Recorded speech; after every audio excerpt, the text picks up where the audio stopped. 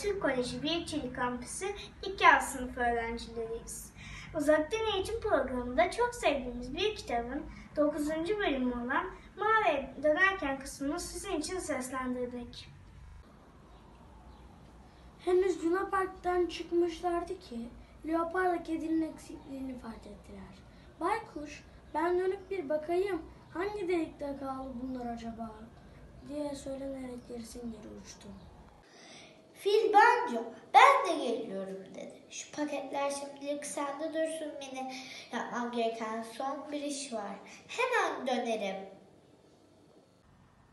Baykuş her yere baktıktan sonra nihayet labirentten gelen bağırışmaları duydu kedilerin.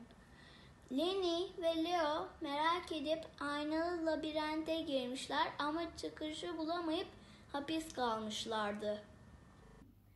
Camlara aynalara çarpmaktan burunları kızarmış, imdat diye bağırmaktan da sesleri kısılmıştı.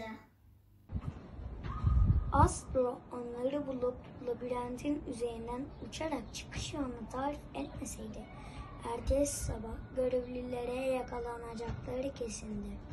İkinizinkini toplasak bir farenki kadar beyin çıkmaz sizde. Ne zamandır sizi aradığımı bir diye çıkıştı onlara. Çok merak etmiştik burasını dedi Leo suçlu suçlu. Çok teşekkürler Astro. Bugün ikinci defa kurtardın beni. Biz de hemen alacaklarımızı alıp arkanızdan yetişiriz size deyip koşa koşa yiyecek karavanına yöneldi leoparlarını. Kedi de başka bir karavanda bulduğu yumuşak bir mindiri, bir de güneş gözlüğünü ve bir de hasır şapkayı kaptı aceleyle. Bunlarla plajda hem keyif yapar hem de iyi hava atarım diye düşündü. Sonra hemen Lenny'nin yanına koştu.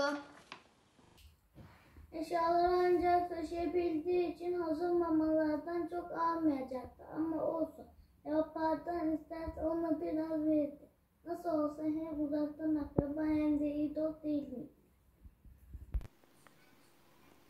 Sırada Bongo büyük bir gayretle bir işe girişmişti. Sirk çadırını tutan bir iplerin bağlı olduğu kazıkları kuvvetli hortumuyla birer birer yerlerinden söküyordu. Yarısından çoğunu söktükten sonra bu kadarı yeter sanırım dedi. Nefes nefese kalmıştı. Sonra da hortumunun ucuyla hafifçe itiverdi çadırı. Hoca sirk çadırı önce yavaşça sonra hızla çatırtılar çıkararak büyük bir gürültüyle yıkılıvermişti.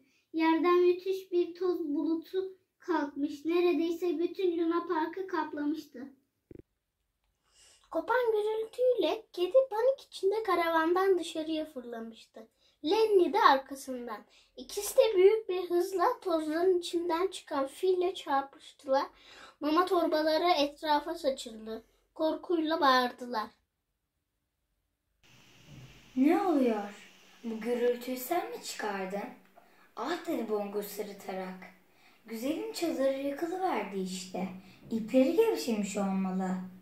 Gerçekten de karavanların arkasından göğe yükselen dev çadırı görünmüyordu artık.